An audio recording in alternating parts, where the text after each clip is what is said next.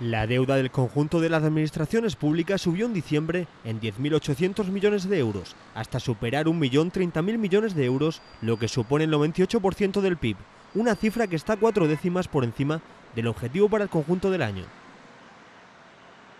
El endeudamiento público aumentó poco más de un punto en tasa mensual en el último mes del año pasado, mientras que respecto al mismo periodo del año anterior registró un incremento del 7%.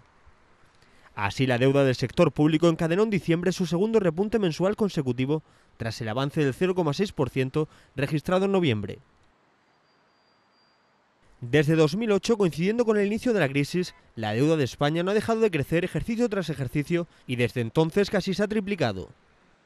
El grueso de la deuda en manos de las administraciones públicas se encuentra en valores a medio y largo plazo que suponen más de dos tercios del total.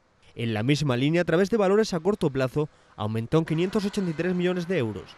No obstante, en términos interanuales, los valores a corto plazo se redujeron un 11,9%.